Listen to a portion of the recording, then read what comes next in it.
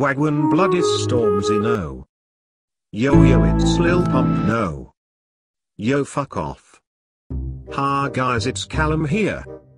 Today we are talking about Gamer Slayer but to be honest the only shit he is slaying is vampires cause he's a Nissan Micra driving spastic. Yesterday he called me a strokey nonce and I said go and fucking kill yourself chinky eyes you smell like a bacon fucking sandwich. He looks like my nan crawled out of a farm made of shit and then shot herself up the ass with her Vauxhall.